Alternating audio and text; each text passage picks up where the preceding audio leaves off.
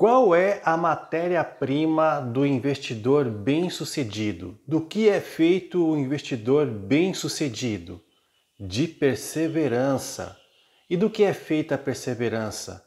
De disciplina e paciência. Disciplina para fazer economia mês após mês, separar uma parte do que é ganho no trabalho e paciência para esperar o resultado dos juros compostos quando você começa a investir com foco na renda passiva, com foco no longo prazo.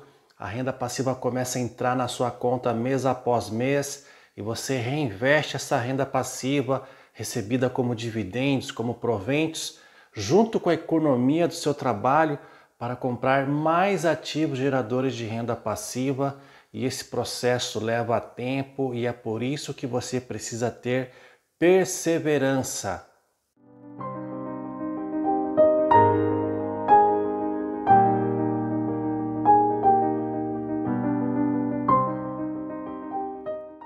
Quem começa a investir em renda variável, seja comprando cotas de fundos imobiliários, seja comprando ações de empresas que pagam dividendos, seja comprando cotas de fiagros, entre outros fundos que geram renda passiva, torna-se também um aprendiz. E eu vou além, torna-se um eterno aprendiz, porque podemos aprender para sempre, nos aprimorando a cada dia para desenvolver estratégias perenes de investimentos. Cada investidor em começo de jornada precisa de um tempo para constatar que a sua estratégia está dando certo porque existem muitas interferências e tentações no mercado financeiro. Mas quando você compra bons ativos para acumular patrimônio e não para girar patrimônio, você tem que aprender o básico de como selecionar boas ações e boas cotas de fundos de investimentos.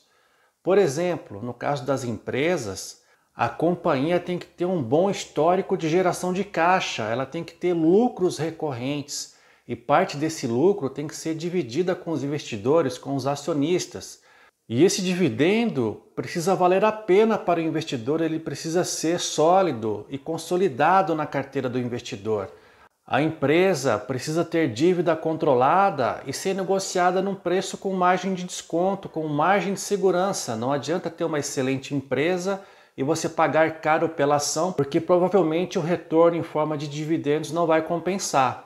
No caso dos fundos imobiliários, nos fundos de tijolos, os imóveis do portfólio de um fundo precisam ser bem localizados, a qualidade dos imóveis precisa ser comprovada, os inquilinos também precisam ter qualidade e confiabilidade. No caso de fundos de papéis, as operações de CRIs devem patrocinar bons projetos, projetos promissores. É preciso verificar se o fluxo de caixa proveniente desses fundos imobiliários compensa o investimento em suas cotas, porque você mês a mês vai receber os proventos para comprar novas cotas e assim por diante. Vencida essa etapa inicial para você entender a mecânica dos ativos que geram renda passiva, aí você precisa prestar atenção na força dos juros compostos, que eles compõem uma curva exponencial, ela começa rasa e de repente ela sobe de forma abrupta. Só que esse período onde a curva está rasa é prolongado. É aí que entra a tal da perseverança, que é composta por disciplina e paciência. A disciplina também para você se manter numa estratégia perene e a paciência para começar a ver os primeiros resultados, porque quando você chega nesse ponto, você não para mais. Por que muitas pessoas ficam pelo caminho nessa trajetória de acumular ativos geradores de renda passiva? Porque elas cometem a falha de colocar todas as economias com foco no longo prazo e não reservam uma parte do dinheiro para projetos de curto e médio prazo. Porém, o curto e o médio prazo quase sempre acabam cobrando a conta, porque a tentação aumenta quando você acumula um patrimônio e você não tem reservas específicas, você tem aquela vontade de sacar o dinheiro que está na bolsa para comprar, quem sabe, um carro novo, é o que muitas pessoas fazem, ou a pessoa acaba querendo ampliar ou terminar a construção da casa própria, ela vai lá e vende as ações, sem ver o resultado da curva exponencial dos juros compostos. Você pode perguntar se eu estou falando isso da boca para fora. Não, são casos que eu acompanho, pessoas que eu conheço que fazem esse tipo de coisa. Tirar dinheiro dos fundos imobiliários, tirar dinheiro das ações das empresas que pagam dividendos para comprar o que elas chamam de ativos, que no meu entendimento são passivos, porque geram despesa. É a despesa com um carro novo, é a despesa com uma casa maior. Por vezes, a pessoa, o casal, vence essa tentação de comprar um carro novo, de aumentar, de ampliar a própria casa ou comprar uma casa nova, mas o tempo passa e o tempo é implacável com as pessoas.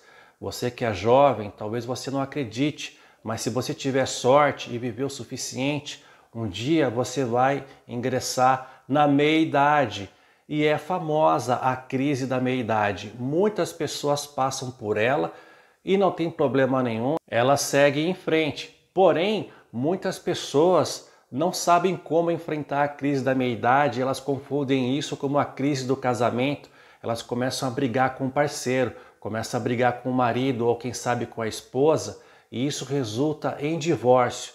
Um divórcio na meia-idade, ele é complicado para todo mundo. Será que a metade do que basta para um casal é suficiente para seguir a vida sozinho? Eu fiz apenas uma pergunta, eu não tenho a resposta porque cada casal é um caso. Cada um sabe das dores de viver em casal e de vestir em conjunto, mas isso é necessário, superar essas dores e seguir em frente. Quem consegue fazer isso, de certa forma, está perseverando e adquirindo mais tranquilidade quando a terceira idade chegar, porque a terceira idade, se você tiver sorte, você vai passar por ela também. Para você investir em ativos geradores de renda passiva, que eles estão disponíveis nas prateleiras da bolsa de valores, não basta você fazer um esforço de economia no primeiro mês, no segundo mês, você tem que repetir esse esforço no terceiro, quarto, quinto mês, no primeiro ano, no segundo ano, no quinto ano, no oitavo ano. Você está disposto a ter uma vida disciplinada, uma vida mais regrada para você ter um bom desempenho nos investimentos? Se você não está disposto, é bom que você nem comece. E é por isso que a jornada nos investimentos não está dissociada da jornada da sua vida.